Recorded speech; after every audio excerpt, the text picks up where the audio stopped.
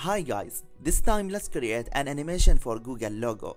You will learn few more things about animation in Adobe Photoshop, especially when it's come to colors and how to use them to catch the eyes of the audience in your logo. And it will be a little of a challenge to complete this one, but the results will worth it. So let's see what you will learn.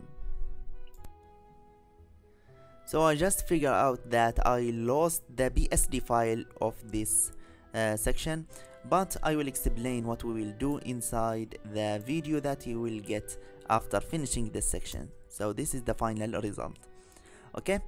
So what we will do actually is to create one ball only the the first one here as lift and we will animate it. Then the rest of the balls will be only smart objects and I will show you how to make them.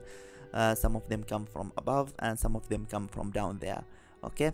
And after that we will make every of these uh, every single of these balls uh, transform to a letter using an opacity and layer mask keyframes.